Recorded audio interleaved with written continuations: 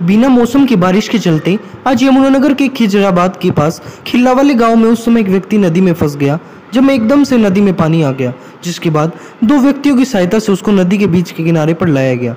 नदी के बीच से निकलने वाला रास्ता एक दूसरे गाँव को आपस में जोड़ता है। जब नदी के बीच से कुछ लोग दूसरे गाँव और अपने खेतों में जा रहे थे तो अचानक से नदी में बाढ़ जैसा पानी आ गया, जिसके बाद एक साइकिल वाला व एक व्यक्ति बीच में ही फंस गया। वहीं व्यक्ति को लोगों की मदद से बाहर निकाला गया है। यमुनानगर से राकेश भारतीय अर्थ प्रकाश टीवी। ताज़ा अपडेट्स व बड़ी खबरों के लिए सब्सक्राइब करें अर्थ प्रकाश टीवी और बेल आइकन